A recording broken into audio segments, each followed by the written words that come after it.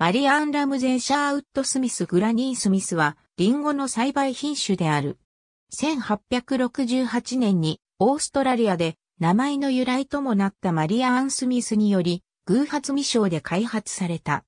マルス・シルベストリスに、地元のエムドメスチカの花粉を掛け合わせた雑種であると考えられている。ニュージーランドに導入され、1935年頃にイギリス、1972年にアメリカ合衆国で栽培が始まった。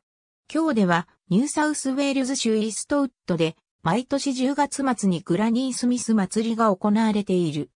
これは栽培品種の原産地を記念するだけではなく、19世紀末から20世紀初頭にイーストウッドの果樹園からシドニーに向けてリンゴを供給していたことを記念するものである。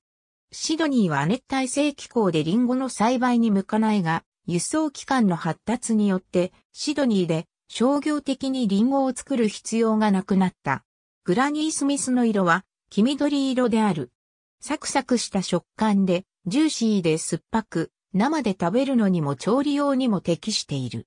ライトルスイートネススケールでは生のグラニースミスの糖度は6.2であるが、火を通したものは11.6である。そのため、グラニースミスはアップルパイを作るのに向いている。また、切り口がなかなか茶色にならないため、スライスしてサラダに入れるのにも適している。グラニースミスの栽培には冬の寒さは短い方が良い。そのため、通常のリンゴよりは温暖な気候を好む。グラニースミスは、ビートルズのアップルレコードのシンボルマークに採用されたことで、世界中で知られている。グリコ乳業の赤リンゴ青リンゴは、当初、本品種と紅玉をブレンドさせた100%ジュースとして発売された。ありがとうございます。